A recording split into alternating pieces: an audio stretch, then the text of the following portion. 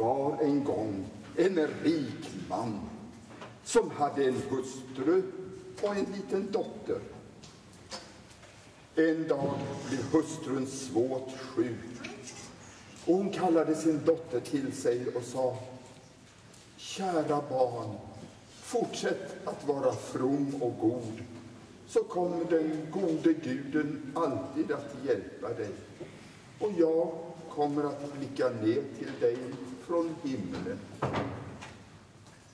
Därpå slöt hon ögonen och avled. Flickan gick varje dag till moderns grav och fortsatte att vara from och god.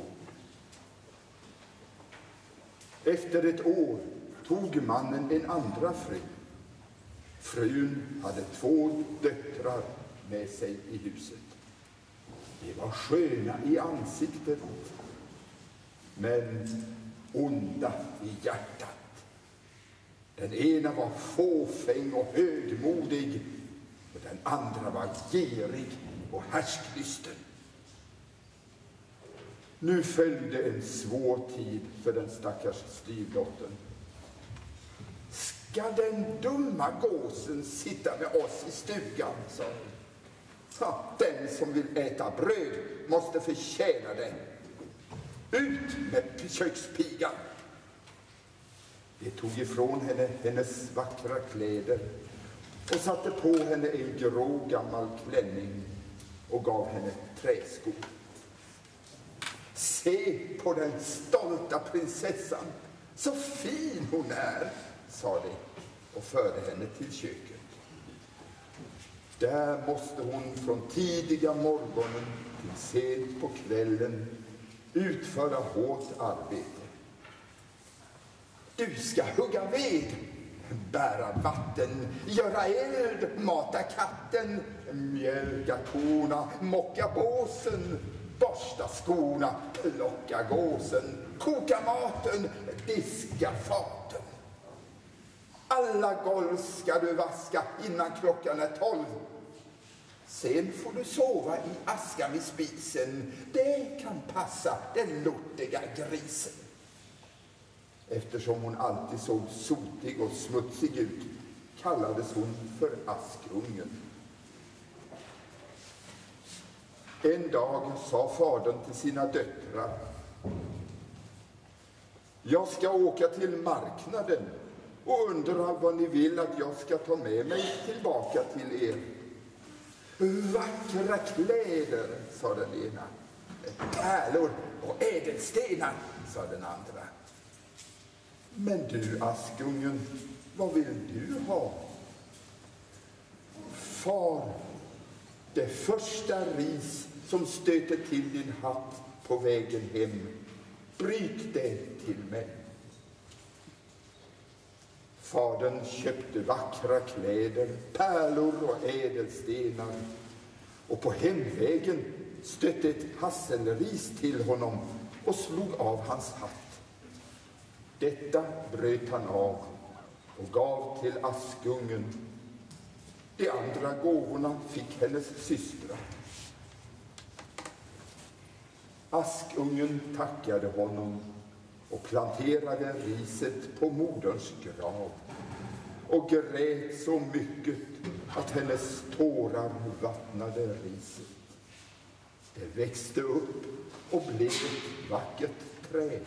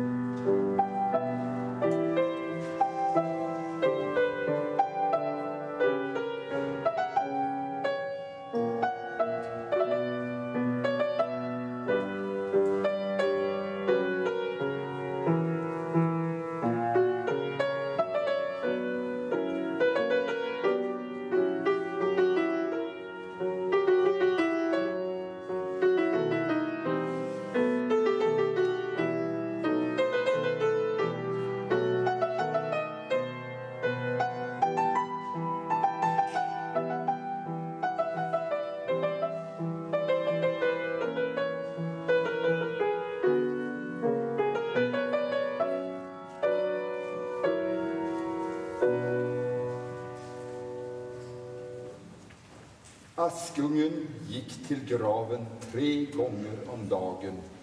Hon bad och grät under trädet. Och varje gång kom en vit fågel och satte sig i trädet. Och när hon uttalade en önskan så uppfyllde fågeln den.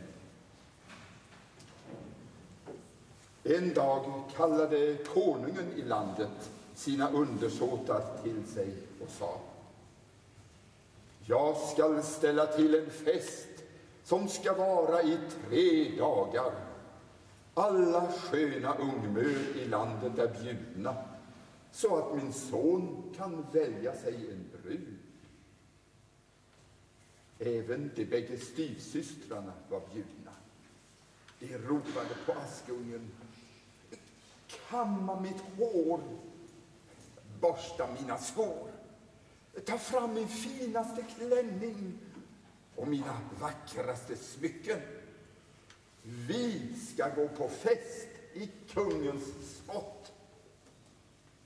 Askungen gjorde som de önskade och frågade sedan styvmodern. Kära styvmor, kan jag också få gå på kungens fest? Du, Askungen, är full av sot och smuts och du vill gå på fest. Du har inga kläder och skor och vill dansa, sa styvmodern. När Askungen fortsatte att be gick styvmodern ut i köket men kom strax tillbaka och sa Nu har jag hällt en skål med linser i askan. Om du inom två timmar kan sortera ut dem igen så får du följa med. Askungen gick genom bakdörren till trädgården och ropade Ni tama duvor, ni turturduvor, alla ni fåglar under himmelen, kom, hjälp mig sortera det bästa i min stäva, det sämsta i er kräva. Då kom två vita duvor och sedan turturduvorna och slutligen svärmade det av alla slags fåglar som började plocka linser.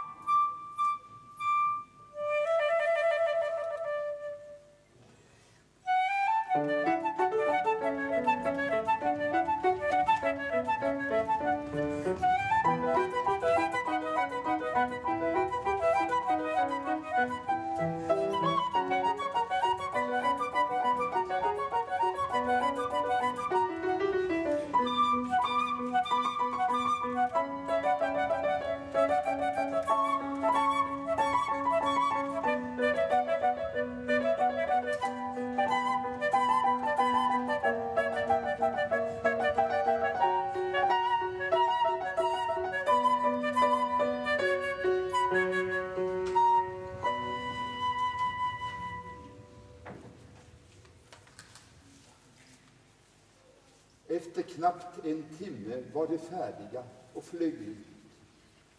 Askungen gladde sig, visade skålen för styrmodern och trodde hon skulle få följa med på festen. Nej, Askungen, du har inga kläder och du kan inte dansa. Du blir bara utskrattad. Därefter vände hon ryggen till och skyndade iväg med sina två stolta döttrar. Då gick Askungen till moderns grav under hasselnötsträdet och ropade Lilla träd, ruska dig och skaka dig, strö guld och silver över mig. Sedan satte hon sig vid graven och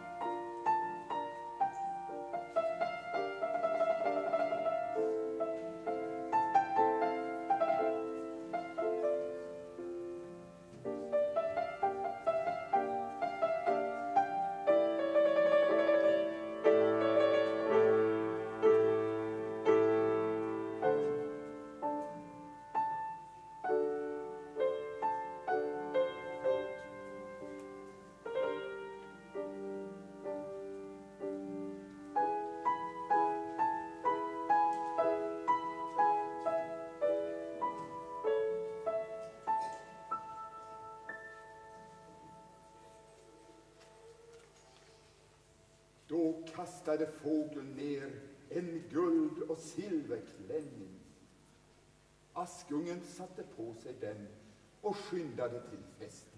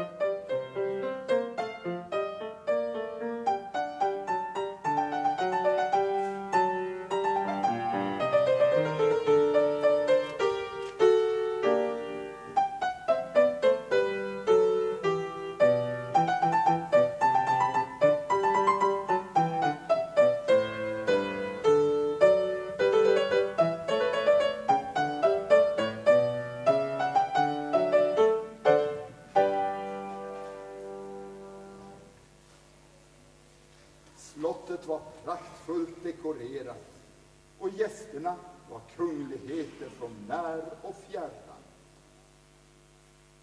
När hon steg in i festsalen trodde alla att hon var en främmande prinsessa. Så skön var hon i sin gyllene dräkt. När prinsen fick se henne blev han genast förälskad och han dansade bara med henne hela kvällen.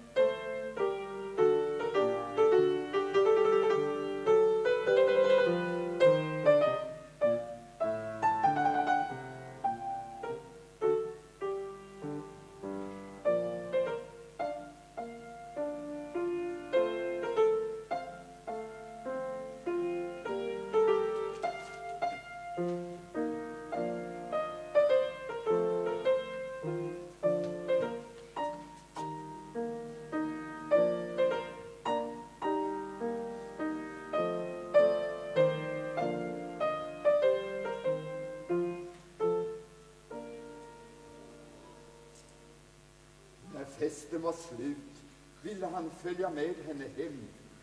Men Askungen smet ifrån honom, skyndade sig hem och bytte om till sina grå kläder och satte sig i aska.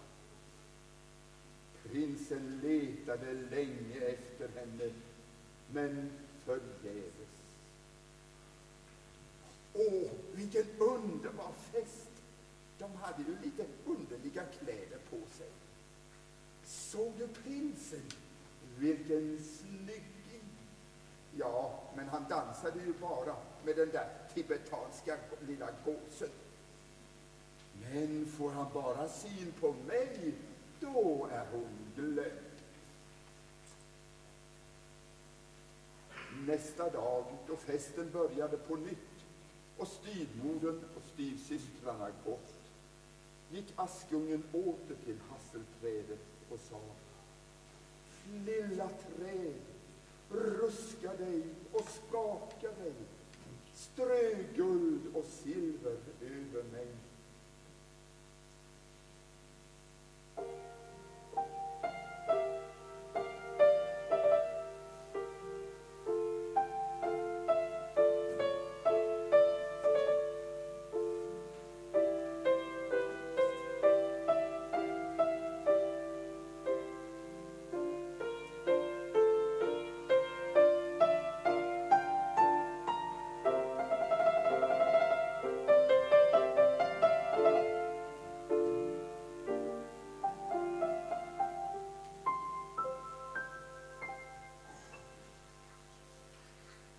Kastade fågeln ner en ännu vackrare klänning än förra gången.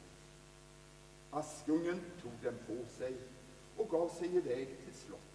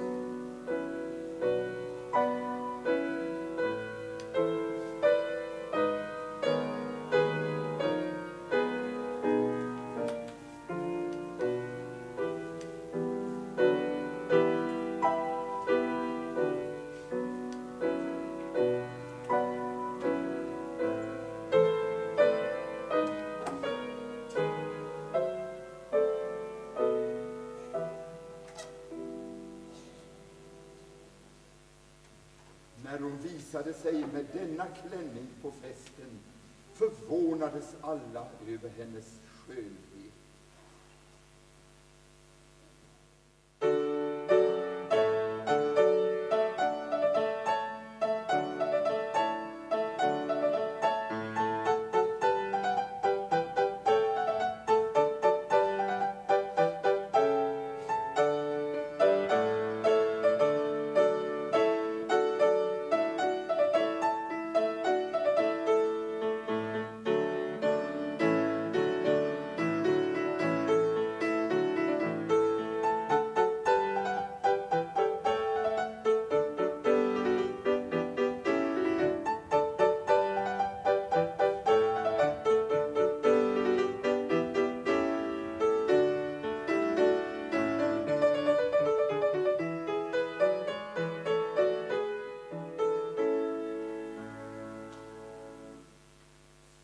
När det blev kväll och hon gick iväg följde han efter henne, men hon sprang ifrån honom. Och när systrarna och styvmodern kom hem satt hon åter i askan vid spisen i sin grå klänning. Åh, vilken underbar kväll! Synd bara att han trampade mig på tårna. Men nu måste väl prinsen ha Ja, vi gjorde nog succé med våra dans.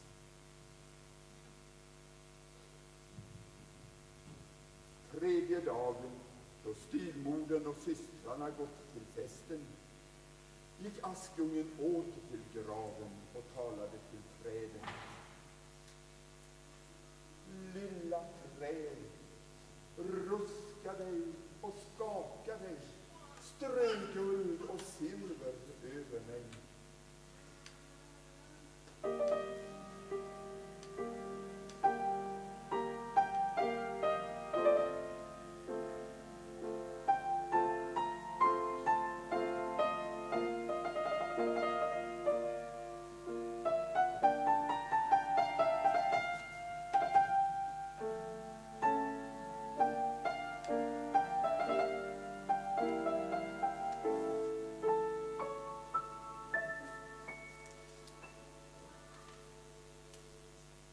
kastade fågeln ner en klänning som var så präktig och glänsande att ingen hade sett något liknande, och skorna var av guld. Askungen skyndade till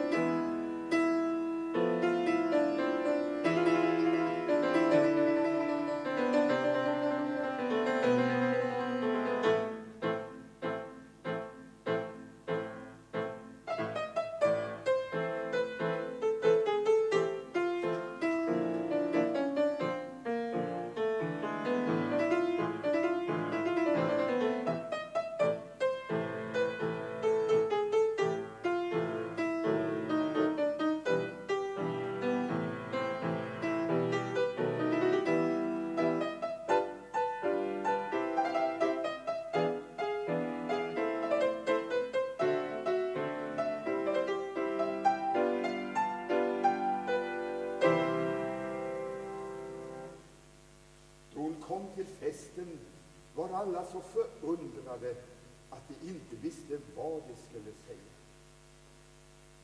Kungasonen dansade bara med Askungen. Och om någon annan ville dansa med henne sa han bara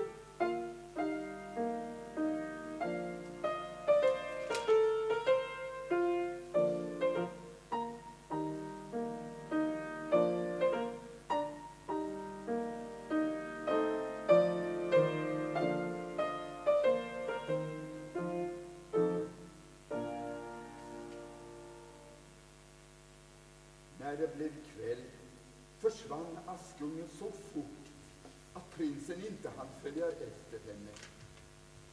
Men hon hade i brådskan tappat sin vänstra sko i trappan.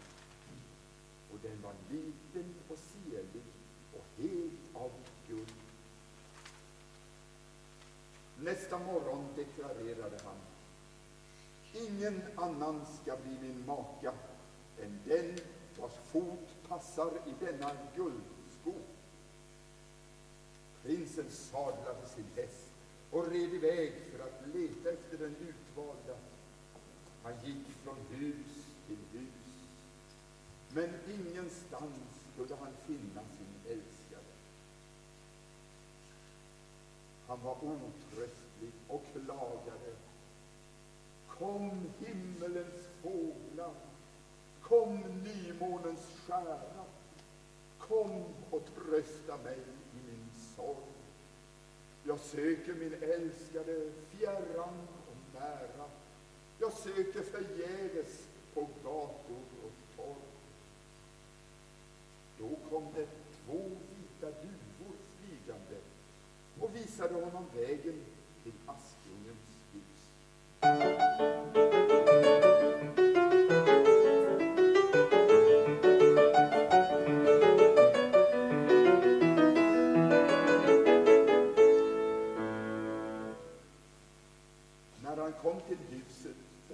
Askungen bodde ville den äldsta systern prova skon.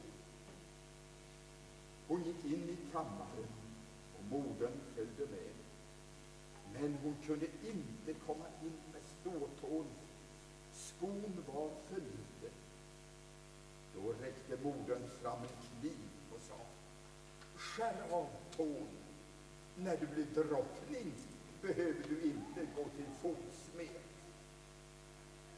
Flickan skar av tån, tvingade in foten i skon, låtsades inte om smärtan utan gick ut till kungasonen. Då lyfte han upp henne på hästen och red iväg med henne.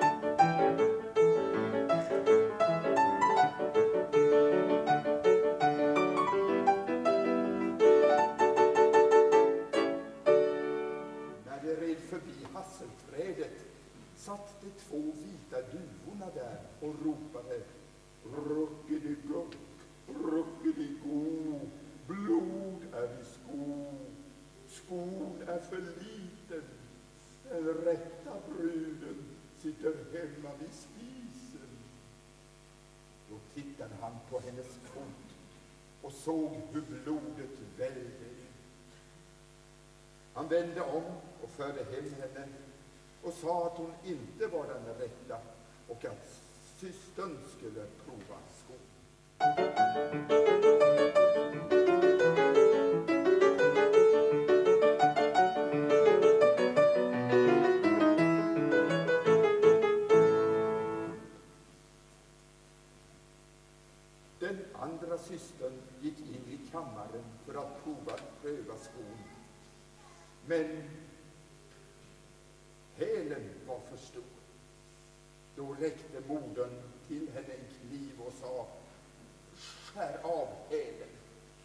Du blir drottning behöver du aldrig gå mer.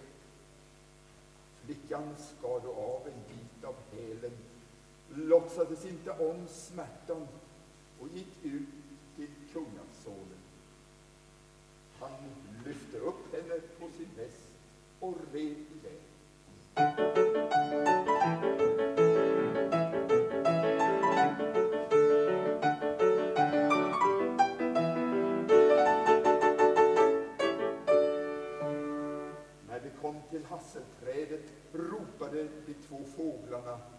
Ruckedigock, ruckedigo, blod är i sko, skon är för liten, den rätta bruden sitter hemma vid spisen. När kungasonen såg att foten blödde red han tillbaka med den falska.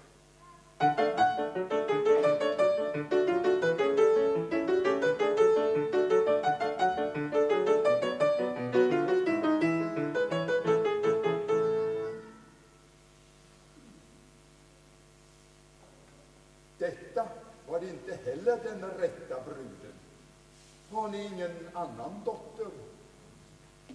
Nej, sa mannen.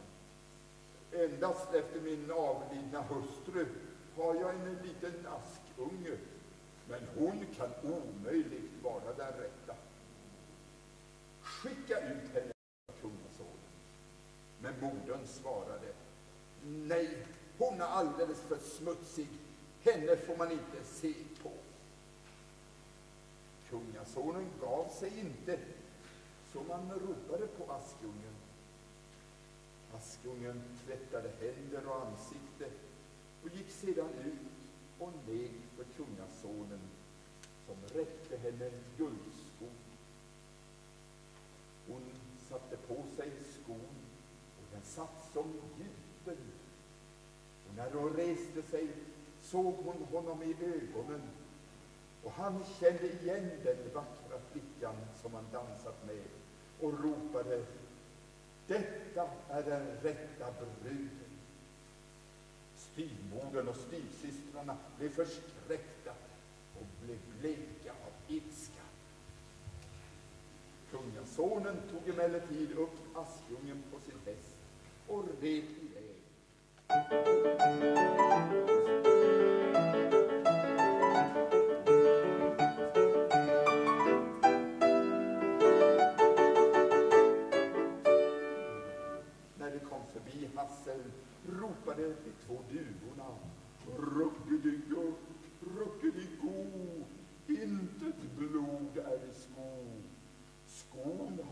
Rätta måttet, den rätta bruden för han hem till slottet.